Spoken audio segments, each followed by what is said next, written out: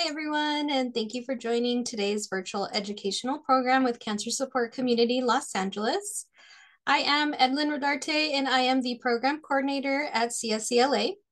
I'm excited to welcome you to this week's webinar titled, How to Help Young Children Through a Loved One's Cancer.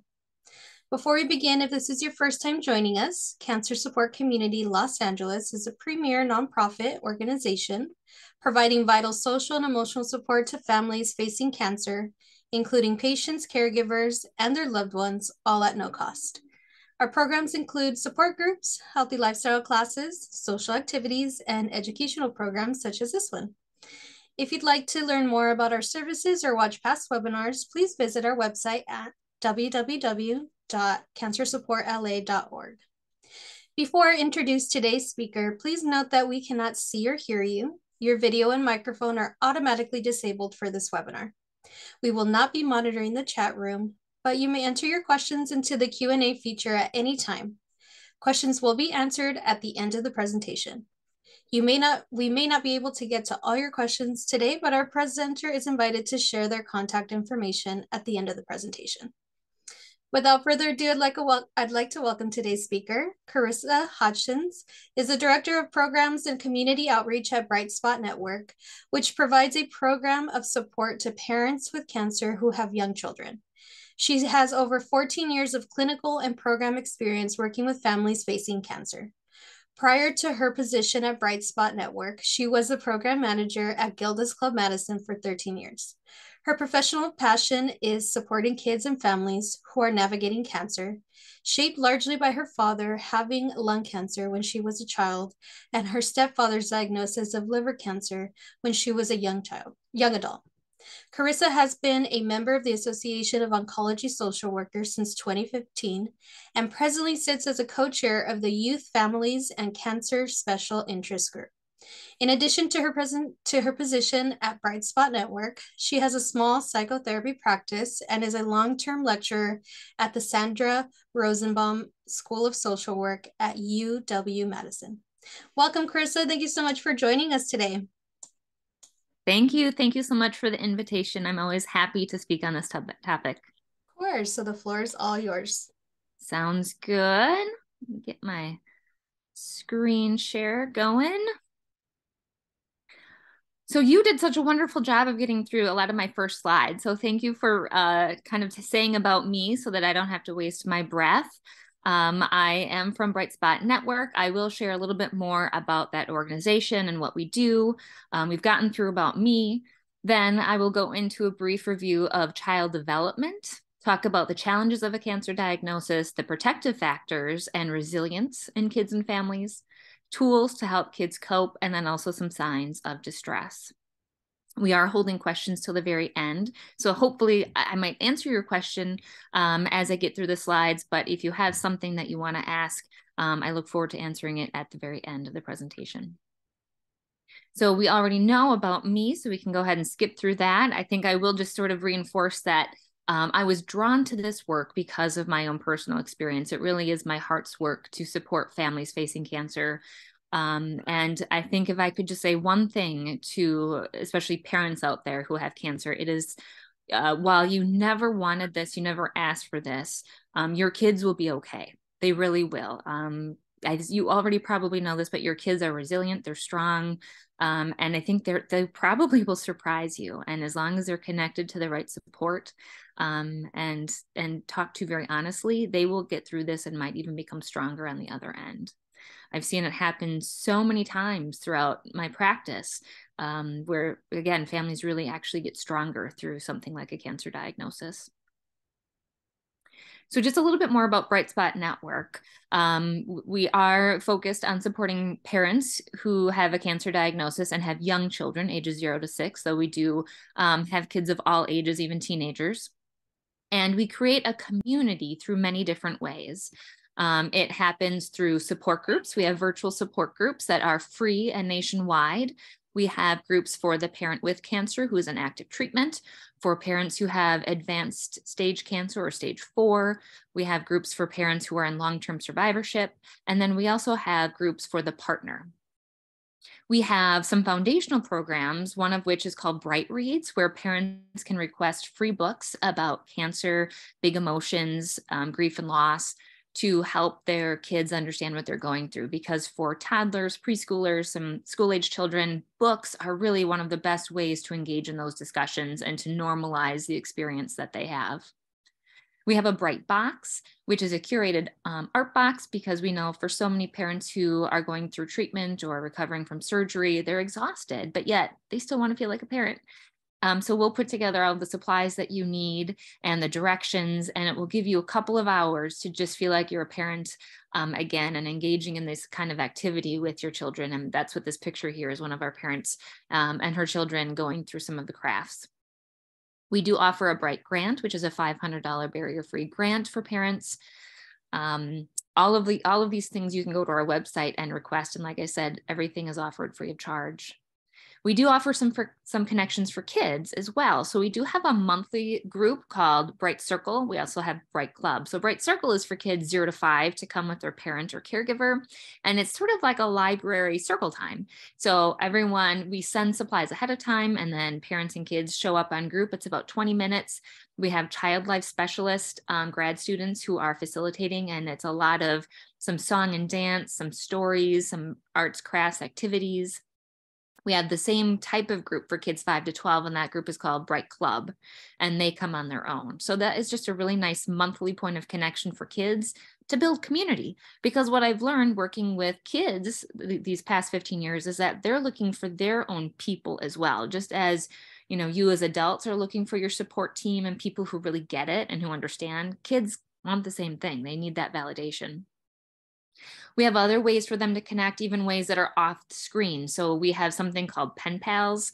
Um, right now, parents can sign up their kids kind of for the summer, but we may continue it because um, right now it's already very popular where we send um, like a, a, box of everything they need from the, the note cards and stickers and stamps, um, everything that the kid would need to write letters back and forth. So when as kids are signed up, we'll match them with a kid of the same age somewhere around the United States who also has either like a mom or a dad, something similar, and they can stay in touch and build community that way.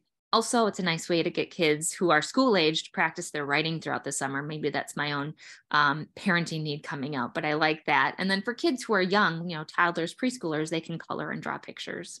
We have a bright birthday, so parents can sign their kids up to get birthday cards made by our teens who have sort of aged out, but they want to give back and they volunteer and make homemade birthday cards for kids um, to just help make their day special. We offer family resource navigation. Parents can meet with me one on one and hear more about either local or national virtual resources that might support them and their kids. Webinars, wellness workshops. We do some events, like right now, we're doing some playground playdate meetups around the country. And then we have a wealth of web resources um, some great uh, Ask the Ther- Therapist videos, coloring sheets, feeling wheels, all of which are on our website, free, downloadable. I'd encourage you to check them out. Okay, so just jumping in here to a review of child development that will help set the stage for uh, kind of like to, for you to start thinking where your kid might fall and what to, is to be expected of their response to your cancer. So we know that for babies and for infants, one of those key elements of development is them forming a secure attachment and creating trust with their caregiver. They have a need for consistent, warm, loving caregivers. There is that time period where they have that stranger danger. And so anyone new that's coming into their life um, often is met with lots of cries. And right, babies are upset. They don't want to be held by different people this is all very important if you have cancer and you have an infant and all of a sudden you no longer can be holding your infant or you're trying to bring in caregivers to watch your baby while you're going to treatment or your partner's going to treatment um, these are probably the biggest thing um, on your plate right now is trying to figure out how to keep that consistency going and the love and the physical attachment the touch all of that going so that you can help your baby to meet some of these milestones then when you have a toddler, you know that they're starting to play with their power and their independence and their curiosity. And this is um, overwhelming and exciting all at once. So they're starting to think about their feelings and talk about their feelings, their, their needs, their wants. They have greater interest in anatomy, and they're also beginning to show interest in helping. So if this is where your kid is at, start to think about how, you know, what might be the bigger um, issues on your plate. It could be um, how they, again, how they can be appropriately involved in helping to care for you. So, like this little kid here is like helping to make maybe a healthy salad for mom or dad who is recovering from surgery or going through treatment. Um, you might be able to have, again, a little bit uh, broader of conversations, um, especially if now they can understand parts of the body. You can have a little bit more of medical um, understanding and medical uh, language and certainly feelings, feelings, feelings, feelings, talking about naming all of the feelings, what to do with those. At this age, kids are able to have uh, some of those skills. For preschoolers, they're starting to experience greater responsibility and they have greater attention spans. So they can sit for longer times to have conversations, read books, do activities, medical play they will have enhanced perspective and awareness of others' feelings. So, not just their own feelings, but they'll start to recognize others. And at this age, there's, you know, saying things like, you know, mommy, you look sad. Um, daddy, it seems like you hurt. Like they'll really start to have a little bit more of that language and that awareness they'll have a greater ability to role play, which is wonderful for them to express some of those feelings, those questions, those thoughts, the curiosity, um, getting them involved. It doesn't have to even be professional, but just having toys around your house that represent what you're going through. So having those toy medical kits, um, different types of dolls, puppets, um, it again doesn't have to be an exact exact representation but anything where they can start playing out their feelings and uh, what's going on for them is going to be very therapeutic. And at this age kids also can start to use words to solve problems. It's not that explosiveness that you see in the toddler realm um, but a little bit more agency and some control over those feelings and the ability to use more you know cognition to problem solve then when you get into elementary school, you have a lot of orientation toward, towards um, following rules because that's what kids usually are doing when they're in school is paying attention to sort of, uh, you know, what what expectations there are, what they can and can't do.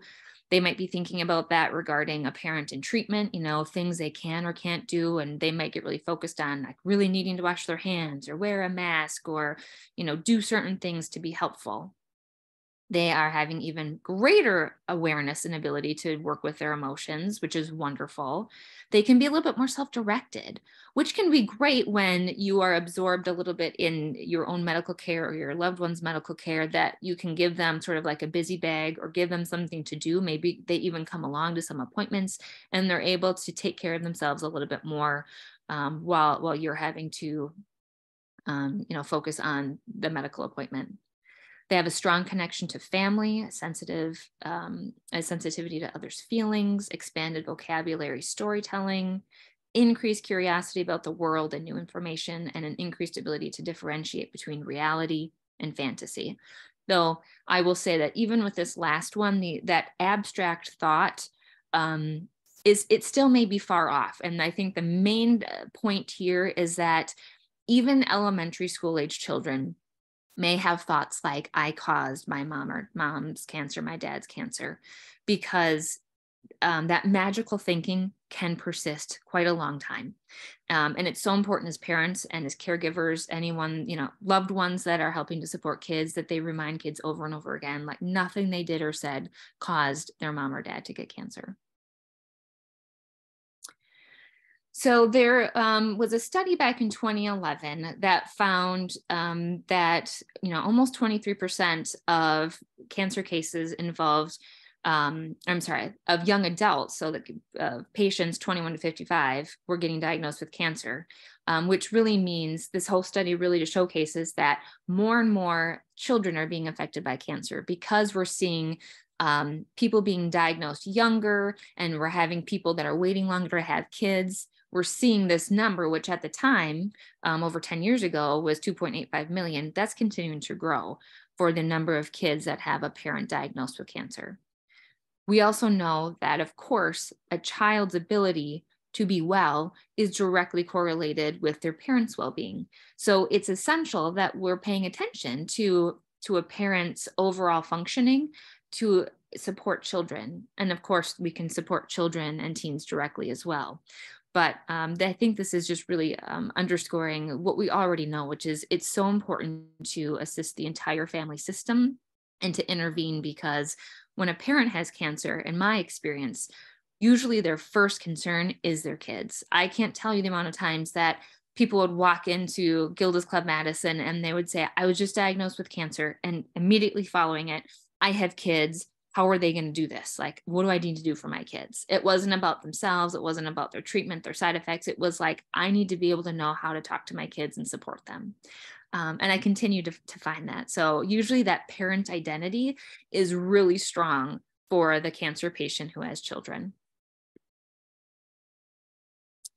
this was a, a drawing from one of the kids in a, a kid support group that I held, the Worry Be Gone in eight or 5000.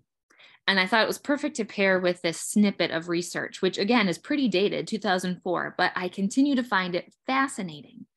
What it's telling us is they, so they studied both pediatric cancer patients, so kids with cancer, and kids who had a parent with cancer.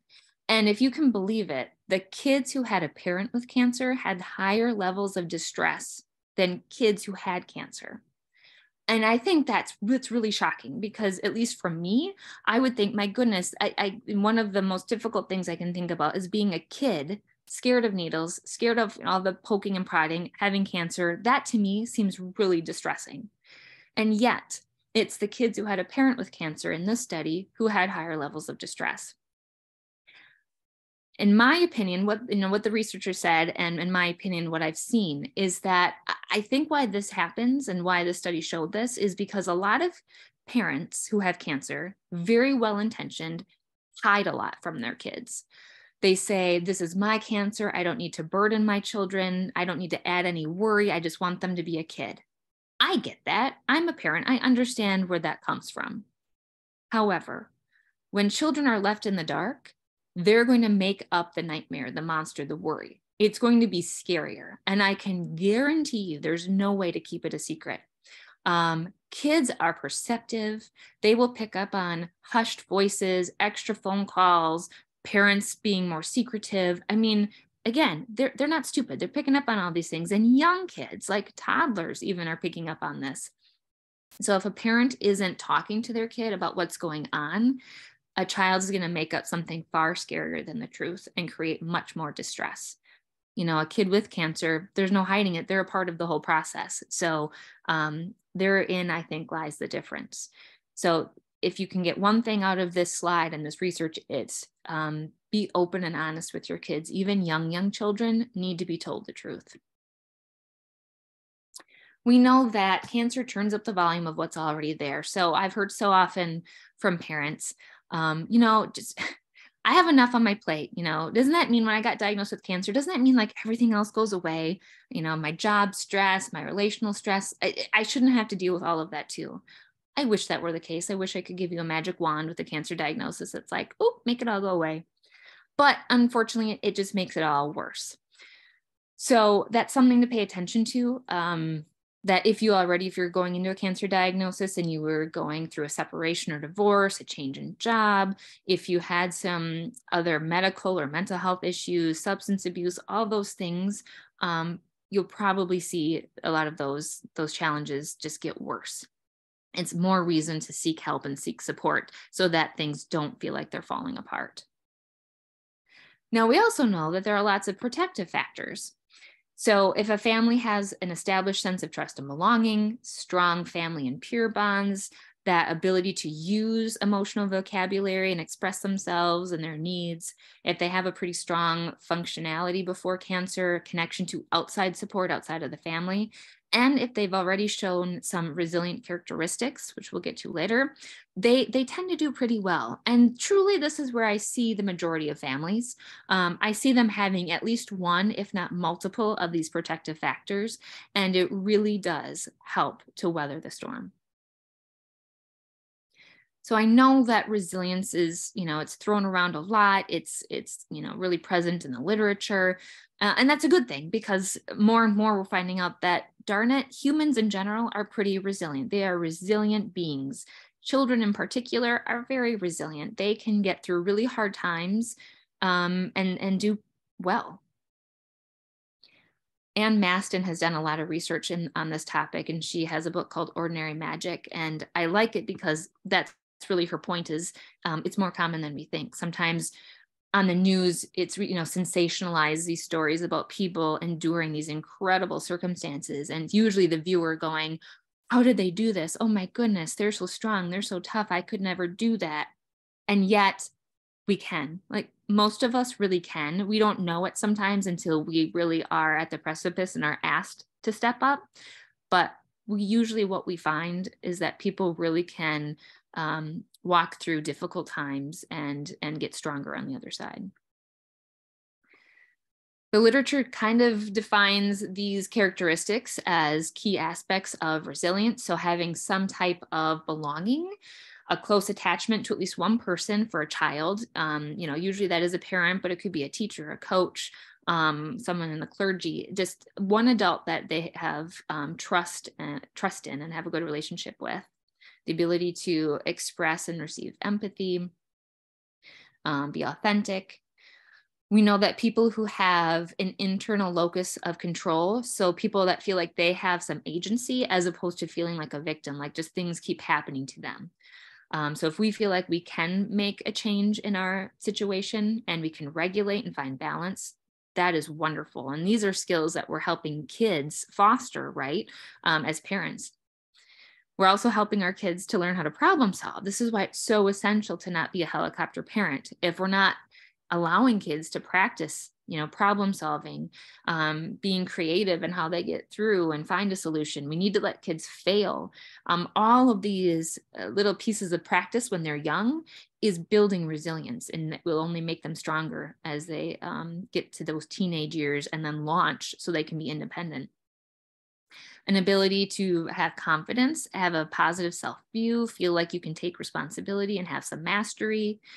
Insight perspective reframing my goodness my kid is so good at this and i'm i wish that i had his ability. He constantly and very authentically if something bad happens i you know just before i came up to this presentation i was letting him know that um, an exciting plan for tomorrow got canceled and i was waiting for this huge disappointment and it was a oh, that's okay then we'll just have more time at home to have fun and watch a movie.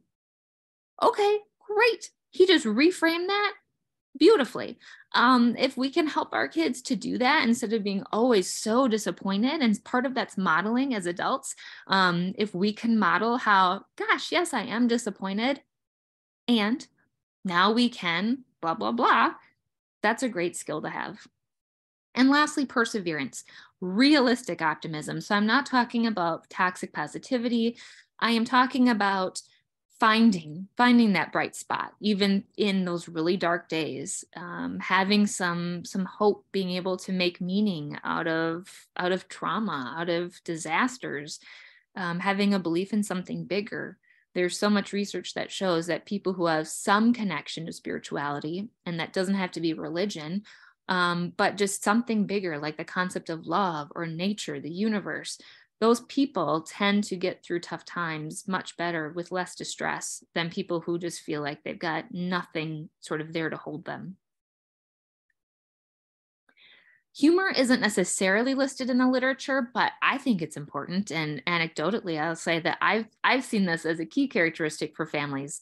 Um, if you can laugh, man, that just sort of it it dissipates uh, the darkness and for kids in particular I, I just you know i've heard so many great stories from parents about just like these terrible days where things just keep happening and going wrong and then it's just like you just start laughing because what else are you going to do? And then it's like dominoes and then the kids start laughing and then you're all laughing and it's like isn't this just ridiculous? Anytime that you can have that levity it's like coming up for air um, and, and, it's necessary. So even if you have to fake it till you make it, watch a comedy, listen to a funny podcast, laughter yoga, that's free. You can go online and listen to laughter yoga tracks. Kids love that. Um, the wonderful thing about laughter is even if you're faking it at first, you still get the same great brain benefits um, that you do if it's like authentic laughter.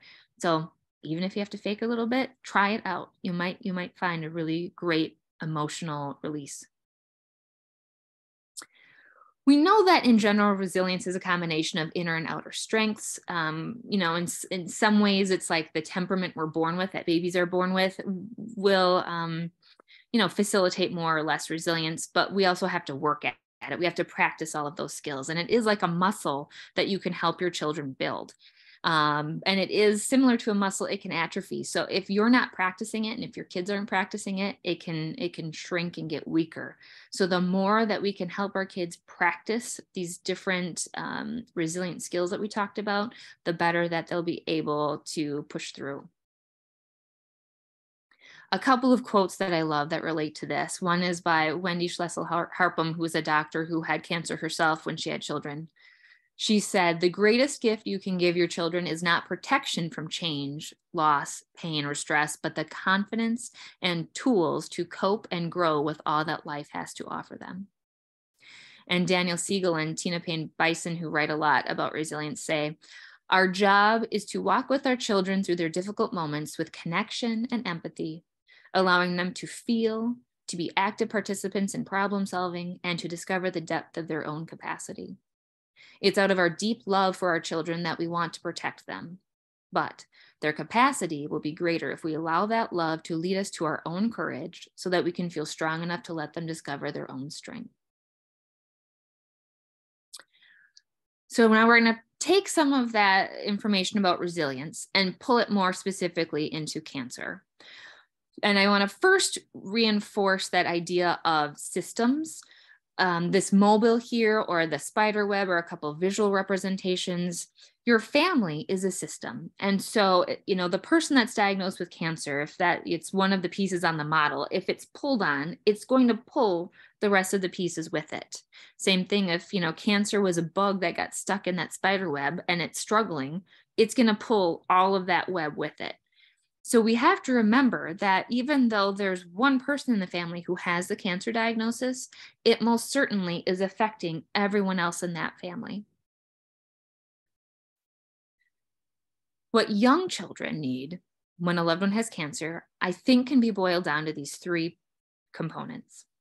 First, safe, reliable, and compassionate caregivers. Second, consistent routines and structure. And third, open, honest, and developmentally appropriate communication. Those three components will be woven into the rest of this here. Um, because I also see, will kind of build the rest of this presentation on this, um, on the William Glasser's idea of how we build um, get our different needs met. So, of course, before we can get any need met, we have to feel safe. And that is the base of resilience. We're not resilient until we feel like we are safe in the world. Once we're safe, we can start to build on a sense of belonging. We can feel connected not only to ourselves, but at least to one other person. And once we feel like we have a sense of belonging, we have some power, we have some agency in this world. We can start thinking and doing and behaving and moving around and trying things out. Once we feel like we've mastered some of our power in a very healthy way, we have freedom, we have more independence. And with that, then, is fun. Um, we experience life, we experience joy, and we start to see that return on investment from the building of resilience. So, going back to safety, like I said, none of us can really have anything met until we have safety. So, if we apply that to young children and cancer, we know that um, for for babies for young children the four s's are kind of the essential pieces. So babies need to feel safe seen soothed and secured. And i would say that really is just a human need all of those. So for young young children of course the physical care for them and meeting their basic needs is the very first priority. Um, and so when we're thinking about um, parents and caregivers being gone because of treatment or travel we really want to keep that that that care team very small and very consistent so that they, we can trust and know that they're meeting all those basic needs for young children. We also start to think about long-term planning um, and i know that this is an area that a lot of parents don't even want to think about because for some and maybe it's even superstitious they don't want to think about death. They don't want to think about dying. You're like all i'm doing is putting my energy into fighting. And i get that I've just heard from so many parents that they say, you know, I didn't want to make a will and decide on guardianship and all of that. but I did it. And I have to say, I feel so much better. Like I feel like there's a monkey off my back.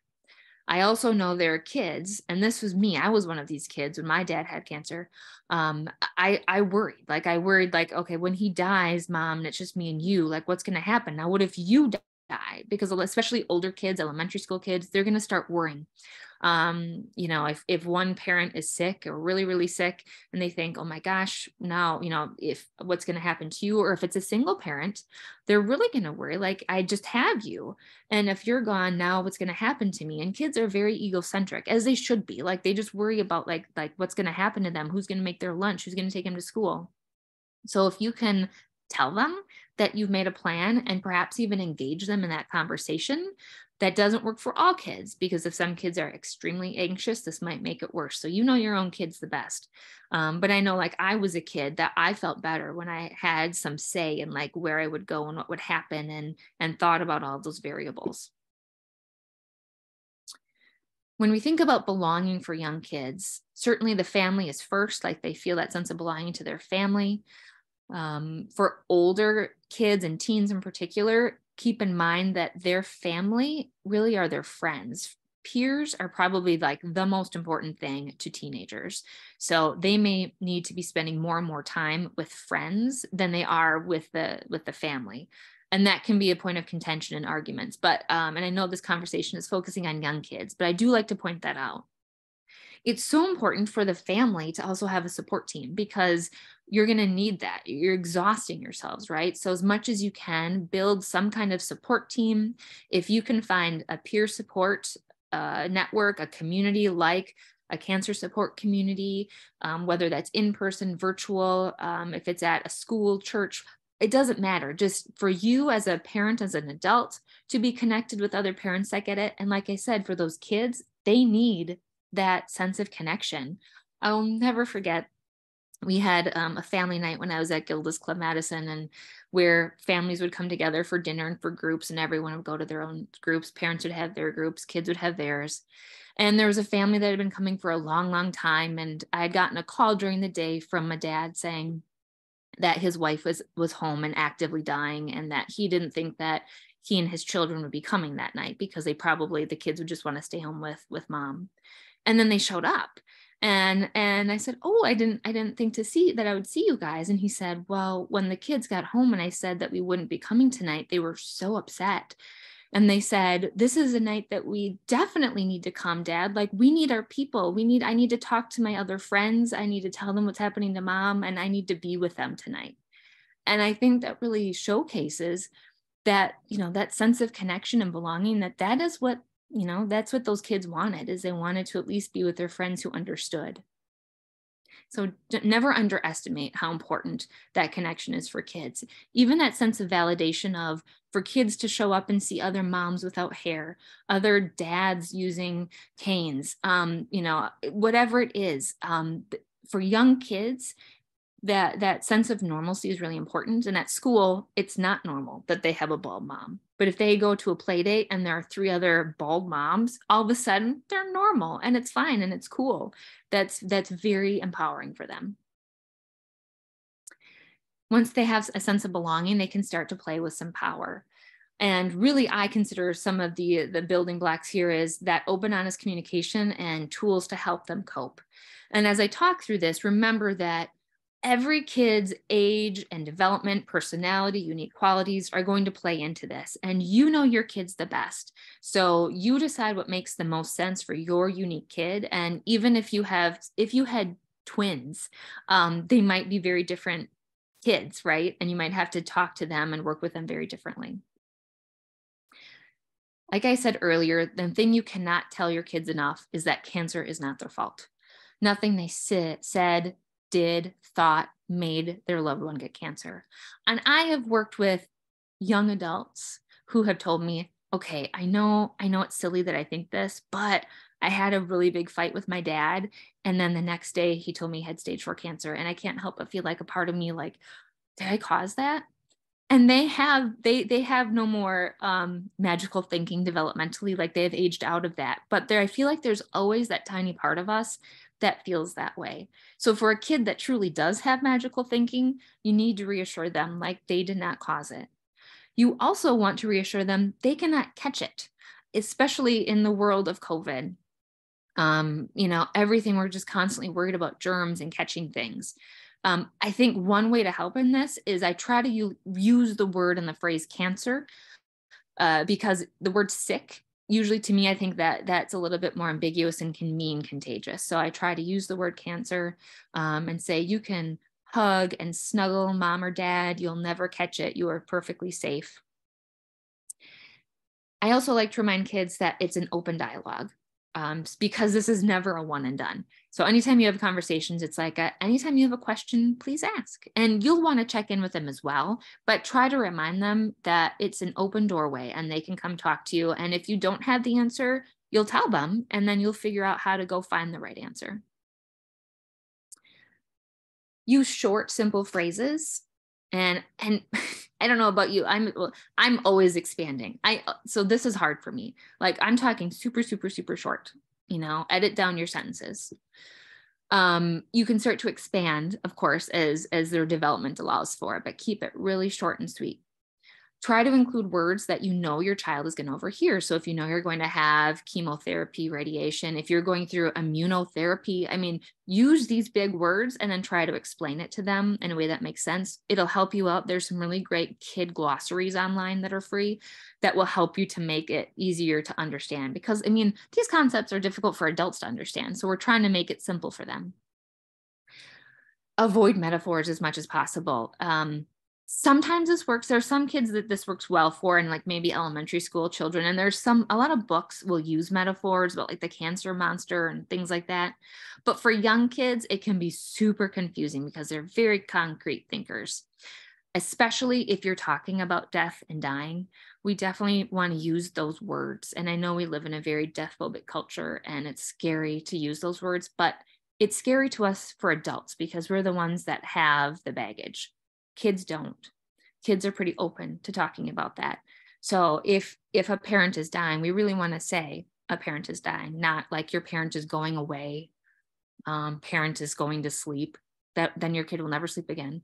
Um, don't use those euphemisms just call it death and dying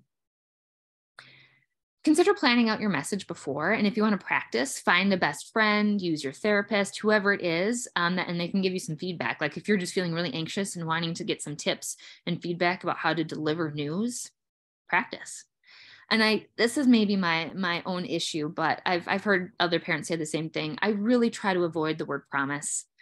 Um, especially please please please don't ever promise your kid that you're never going to die because that's a lie um, we're all going to die um, and all it will do is damage the trust that your child has in you. So really consider that when you're selecting words um, and, and try not to overpromise because we always want our kids to, to be able to trust us and be able to think that they can come to us and we'll tell them the truth. This is an example of some of those like short, short sentences that you can almost like cut and paste and build together. So, you know, mommy has cancer. Stop, pause. She's going to the doctor to get better She's getting a medicine called chemotherapy. The medicine may make mommy feel sick and tired. You can hug and snuggle mommy all you want, and you will never catch cancer. Nothing you did or said caused mommy to get cancer.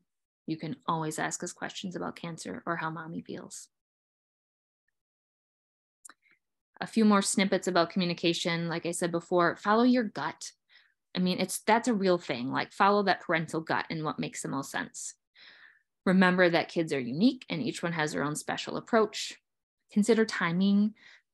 You know, if your kid has like a big game tomorrow, uh, maybe like don't have some really big update right before the game or at bedtime. I know kids like to bring up big topics at bedtime, but you as the parent don't because you want your kid to fall asleep.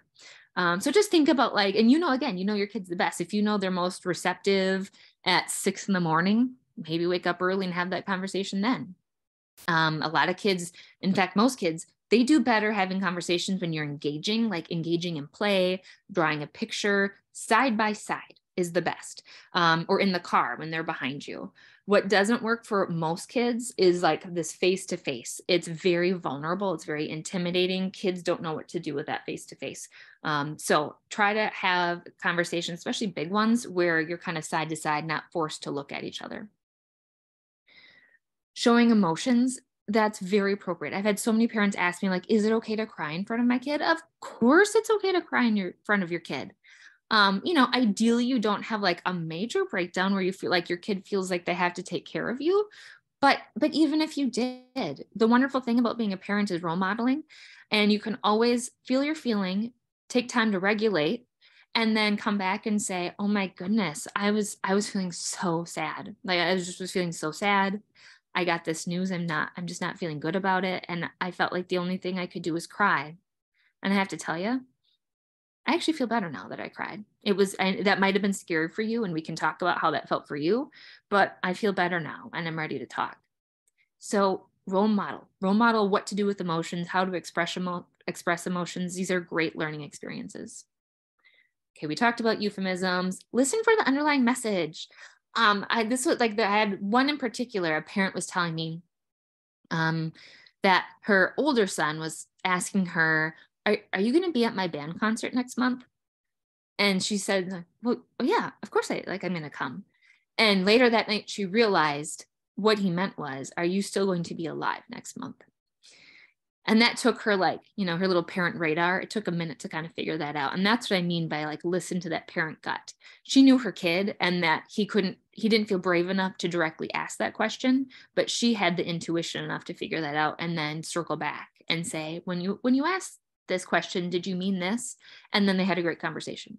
So just kind of keep keep that in mind a lot of kids are going to do best when you can prepare them for changes. Um, and this is for most most humans. Like if we have an idea of what's coming we can prepare for it. So if you know that treatment starts in a month you know maybe start letting them know two weeks ahead of time and then remind them again like the week before and the day before of what that's going to look like and most importantly how it's going to change things for them. They don't really care what it means for you but like how will it affect them and then wash rinse repeat. This is never a one and done. You're going to have to keep circling back to these to these points um, regulating feelings, one of the best things you can help your kids with. If you know the handy brain, you can Google that. Um, it'll help you to um, respond to your kids who are having really big emotions. Because what we know is if a kid is in the middle of tantruming or experiencing really big emotion, that is not the time to have a conversation. It, it will not, they, their brains will not process it. So we always need to help kids to work through big emotions before we have verbal conversations with them helping your kid to understand the the purpose of some of our basic emotions. And as a parent actually it's kind of a nice roadmap. Like if our kids are feeling afraid it's telling us like what do we need to pay attention to? If we're if we're feeling really angry what are we fighting for? What do we want? If we're feeling sad what are we trying to let go of? And if we're happy like what are we celebrating? How do we want to feel joyful? There are so many different ways to process these emotions and i want to highlight phys- physical activity because I think we're getting better um, as parents and as humans to integrate play and art and expression into our feelings. Sometimes the kinesthetic part gets left out when regarding feelings. Um, especially anger. I think we get a little bit afraid of anger but we don't always need to in fact and i would caution us to make sure we're leaving room to be physical with our anger in a safe way. So helping your kid to find safe ways to be angry to punch a pillow to throw ice cubes outside let them you know if you want to break things throwing ice cubes now is getting hot and like watch it melt. It can go from a really kinesthetic activity to really meditative. Um, yelling screaming all that kind of stuff belly breathing grounding techniques being able to not just cry, but wail. Like even older kids, if they're in elementary school, sometimes being able to almost tantrum like a toddler might be what they need. Um, and we don't want to put judgment on that. If they can do that in a safe way and get some of these feelings out, how wonderful.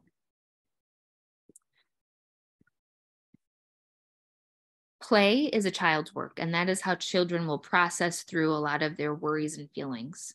Um, it's great to both engage with your children in their play and that like if they're telling a story about the dinosaur mommy going to the hospital join in play with. Sometimes it's nice to just kind of listen and watch. Sometimes it's nice to join in. Um, i've had so many art therapists tell me like please make sure parents know that play reflects like this quote here an emotional reality it is not an exact retelling of what they're actually thinking about. So if you're in that play and all of a sudden the dinosaur mommy starts ripping apart the daddy dinosaur um you might because you might start thinking like oh my gosh what does my kid think about my relationship with my husband? What's going on? Try not to psychoanalyze uh, just keep playing and, and just kind of see and you can always ask kids afterwards like huh like i noticed you can always just say i just noticed i love that that's a great intervention you don't have to be a therapist to use it just i noticed you did this. See if they say anything or like oh tell me more about um you know just kind of like see what comes up and if if you're starting to get just feelings like red flags, like eh, this just doesn't feel right, that's when you can reach out for extra support. But by and large, you usually don't need to engage any kind of therapist. Um, a lot of this can just be done at home with your kids. Artistic expression is so important. Um, there's so many things that you can do with your kids. Uh, again, you don't have to be a therapist, an art therapist to do them, but just playing with clay and drawing out like our bodies, like a body map of where we feel things, do collage, make a, a family flag of a crest and hang it up in your living room about what makes your family so strong and resilient and wonderful. Similar to that story of um, un- underlying message. Uh, I remember once in a group, uh, it was the very first kid support group, and there was a young boy when they were drawing their families dad had cancer and he drew a gun pointing at dad's head and he didn't want to share about it in group and that's fine. But after group i just pulled mom aside and i said just so you know um, you might want to check in with your son. This was like just ask him about his drawing. He didn't really want to talk about it in group. And she was a little bit upset and i said try not to be upset like just wait until tomorrow sleep on it and see if he wants to talk tomorrow. And she called me the next day and said so i had that conversation and it turns out um, so dad had a, a brain tumor and was getting radiation. And this little boy was kind of kept in the dark and he he only had heard snippets of information and what he had put together again was much scarier than the truth. He just imagined the scary like alien ray gun at dad's head. And so they had a wonderful family communication about what radiation treatment really looked like for dad. And then one step better they were able to arrange for that son to come to dad's next treatment. And the medical team left time ahead of time to take him on a tour, show them the machine, and explained everything. And guess what? His stress level came down a lot because he now was like informed right so there might be elements of you know worries questions stress coming through in your children's drawings and art and this is so it's a great way to use that um, for conversation of course, any element of mindfulness, I suggest do that as a family. It's a really great family activity to do some yoga, belly breathing, whatever it is, share gratitudes at dinner. Information, children's books, wonderful. As kids get older, be wary of what they're Googling and what like what's reliable information. So start having conversations with older children about like, where they should go to look for information uh, we talked about the power of routines. Uh, a lot of kids, sometimes parents feel they kind of want feel like oh, I should give my kid a break. Like I'm going through, we're going through so much. I'm not going to expect so much of them. That actually freaks kids out. I've heard that so often from especially older kids that say, My mom used to ask that I clean my room or make my bed every day. And she stopped asking. And that actually worried me because I thought, like, you know, she used to be so uptight about it and like things must be really bad that she doesn't care about me making my bed or I started getting B's instead of A's and but my mom doesn't care and I guess she must be really sick. So, um, you know, the, some of those expectations and routines, structure are really important for kids. They're extremely important for young, young kids. Um, as Sara Olsher points out, I've been to a lot of her presentations. Um, that you know as adults we have planners right? And where would we be without our phone our calendar about what's happening when? Like if you lost that and you had to go through your week i bet your level of stress would be through the roof because you're you're not sure where you're supposed to be and what you're supposed to be doing so little kids need that too and we need to make ways that are very accessible for them. So she makes these really great pictorial schedules, and you don't even have, you can buy them through her. You can make your own at home. You can do it for free, where you just put together a simple week calendar and pictures for kids that don't read of like, if a, have a picture of grandma, and when grandma's coming to stay, when is she coming to stay? The days you're going to be at treatment, have a picture of the hospital days that you know you're going to be really sick from treatment, maybe put that on there. Anything that will help your kids to know what to expect in the next week will be very empowering. And then lastly, once the kids start to have this sense of power, they'll feel more freedom and more independence. They'll be able to feel more like a kid. And lastly, some fun. And really, fun can coexist it coexists with cancer. Um, this was a family I knew from Gilda's Club who were happy to share this picture for a presentation. Um, this little girl's mom was going through treatment at the time and had a wig, and they wanted to build a snowman. And they went in and stole mom's wig and put it on the snowman. And they just they laugh about it still. About and again, there's that laughter piece. They just had a blast with it. So, you know, it's it's okay to have fun and laugh. Now, just to get a little bit before the end here, I know we're running short on time um, about distress. And this is where I think parents get the most worried is like, how will I know if my kid needs extra help? I love this um, poem by Shel Silverstein, The Smile Makers. The grungy, grumpy, grouchy giant grew tired of his frowny pout and hired me and Lee to lift the corners of his crumbling mouth. That was last year, and we've been here sweating, straining all the while. Sometimes it sure can be hard work to make somebody smile. And I have this poem because this is what I hear from kids sometimes um, when they have their own special support group and parents aren't around. They'll say, Sometimes I feel like I have to help daddy smile. Like daddy doesn't smile anymore. Daddy's always sad. Um, I think it's maybe it's about me. Maybe I'm not, you know, maybe I'm not good enough. Maybe I'm not doing well enough in school. It's because I, you know, did so poorly on my piano recital, whatever it is. Um, kids will really sometimes take on the weight and I know that no parent, no parent ever wants their child to feel that way. Um, so I just re- I put this here as just a way to kind of remind parents that that kids sometimes do feel like it's their responsibility, and so it never hurts to remind them like they should just be a kid and that you are being taken care of by a great medical team. You've got great helpers. That you've got this. Like you've got your support team, and so what you want from your kid is snuggles. You want them to be happy. You want them to play with your their friends. You want them to go to school. Whatever it is, like remind them to be a kid. It's not their job to take care of you. I think eh, parents really will feel the distress. Like if you notice that something has just been off for 2 weeks or more, uh, disturbances in the big four are kind of the keys. So, like developmentally, uh, if your kid was potty trained and now they've regressed, they started wetting the bed a lot, um, they're uh, doing poorly in school, eating too much, too little, um, sleeping too much, too little. If all those things have really been off, um, it may be time to check in with your pediatrician, um, a social worker, your oncology social worker, see if you can get a referral to a kid therapist, just just someone that can maybe kind of give you some feedback because extra support is never a bad thing. Um, any kind of persistent change in mood or pattern and change in mood or patterns of behavior is is what will kind of key you to to paying attention. Any explosive behaviors, withdrawing, if your kid used to be really social and now is really isolated, you might want to pay attention to that. Also, um, this role shifts. This, this is really for older kids. Sometimes I see preteens, teens take on like a parenting role. They feel like they have to take care of the younger siblings. Some of that can be healthy. Um, but if they're doing too much of it and they're then they're doing it all at the cost of school and friends and extracurriculars, um, you know, you might want to bring in some extra help to give them a break. There are so many great ways to connect with professional and peer support. If you're going to look for a therapist, try to find one that not only understands the family system, but also at least chronic illness. Maybe they don't have an expertise in cancer, but they understand like a chronic illness. For young children, um, because they don't really do talk therapy, you're looking for a play therapist, art therapist. If your child has experienced a trauma, like if they saw you fall down and like had to call for an ambulance or something like that that's really scary that's keeping them up at night. EMDR is a really great modality that even young kids can do um, that doesn't use words that they can like a therapist therapist can walk them through getting rid of some of the distress of those those visual memories. Child life specialists are phenomenal.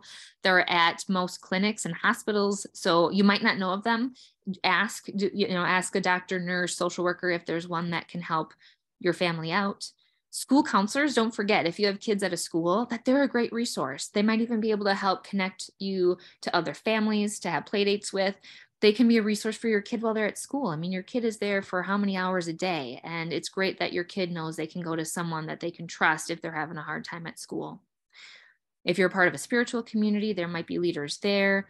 Like I've said in the presentation, peer support is essential, I feel. So if you can get connected to some kind of peer support, not only for you as the adult, but for your kids, and then camps. There are some really great camps, including Camp Kesem, that are really fabulous for children. So I just want to end wrap this up by saying I did um, uh, some research in 2008 looking at resilience in families facing cancer.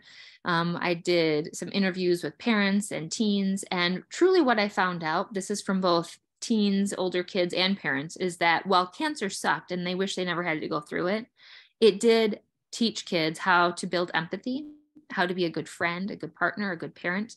I had teens tell me, like, I know they were a little bit dramatic about it, but you know, saying, well, now that I understand, you know, my mom having cancer, like, you know, my friends are just worried about their girlfriend or, you know, getting their driver's license. And I feel like I have a greater appreciation for life and the bigger things. And that's coming from like a 16 year old that builds empowerment and confidence. It gives them some life perspective and certainly gratitude.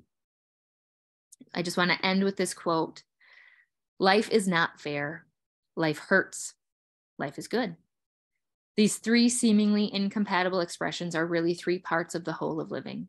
They are threads woven through the tapestry each one of us creates as the visible expression of being part of humanity. To accept these three is not to abandon hope or optimism, or to deny our real grief. To accept them is to rid ourselves of the unnecessary suffering that comes from struggling against these three truths and trying to make them something they are not. I encourage you to reach out to me. I'm going to, I know that I went a little long. Um, I'm going to stay on to answer questions, but if you have to drop off, please write down that um, my email address. I encourage anyone to reach out to me via email. Um, I'm always happy to talk more or help get you connected to either our programs or other programs that are more local for you or um, even other national virtual programs. So I will stop there and start answering questions. Hey, thank you so much, Carissa. Uh, that presentation was honestly really great. I'm glad we were able to, you know, also record this so it lives, you know, on and on and on. So uh, yes, let's go ahead and get to the questions. Uh, hopefully we can answer a few before the top of, you know, even a little bit after.